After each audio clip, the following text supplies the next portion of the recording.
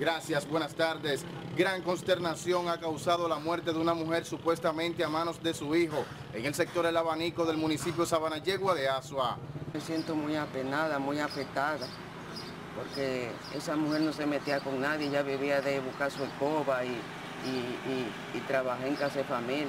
Que eso, eso es demasiado, como que, como que es una cosa mala que está suelto así acabando con la gente. No se, se siente triste con eso, porque eso no se había visto aquí en el 11. La fallecida es identificada como Teófila Vargas y su hijo Yeuri Vargas, que según vecinos este tiene problemas mentales y que también violaba a la madre. Pero ella le faltaba un poco de, de juicio. El muchacho también entonces usa droga.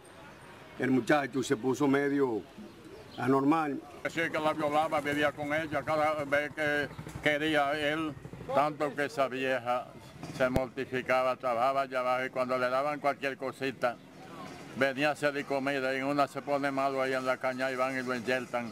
Eso es una cosa deshonrosa que hizo ese muchacho. Eso tiene que ser debajo de droga. El supuesto asesino ya se encuentra en manos de las autoridades policiales y judiciales para ser juzgado. Es toda la información que tengo desde Sabanayegua de Asua. Ahora retorno al estudio.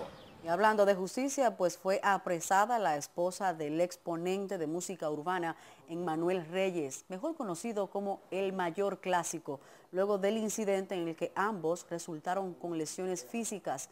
Carolina Tamayo permanece detenida en la unidad de violencia de género e intrafamiliar de Santo Domingo Este. Según se informó, la fiscal encargada del departamento tiene a Tamayo detenida a fin de continuar con las investigaciones del caso.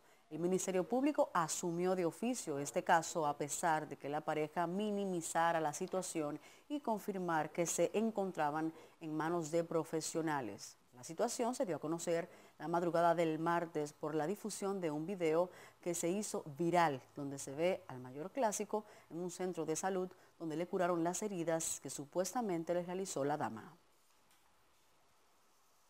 En otra información, pues ese jueves la Oficina de Atención de Santo Domingo Oeste dictó tres meses de prisión preventiva como coerción al artista urbano Dillon Baby, acusado de agredir a su madre y a su abuela.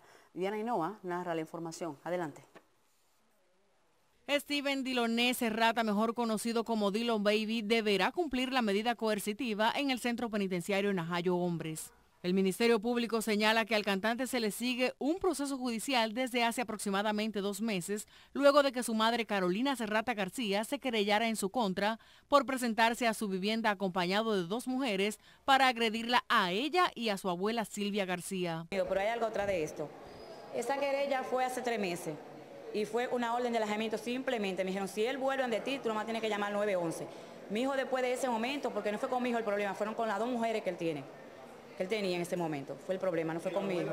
Se volvió un lío de mujeres, chisme, de mujeres, y se fajaron. El nieto mío está ahí.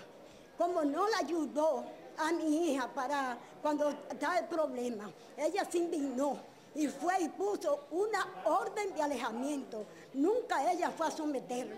A Dillon Baby se le imputan cargos de agresión física, sin embargo, la madre y la abuela del exponente urbano aseguran el joven nunca las ha maltratado. Siempre estuve en mi casa, él, él, iba a mi casa con mi mamá y nunca pasó nada y nunca volvió a la fiscalía por eso. Por eso nunca volvió a la fiscalía, porque él se portó bien y nunca pasó nada después. El nieto mío está ahí él nunca me ha dado golpe a mí, nunca, nunca, ni a su mamá tampoco. Eso fue un lío entre mujeres que hubo en mi casa, porque ellas vivían allá.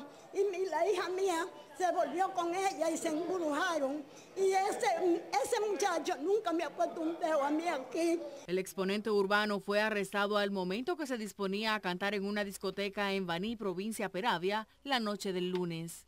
Para Noticentro, Viviana Hinoa.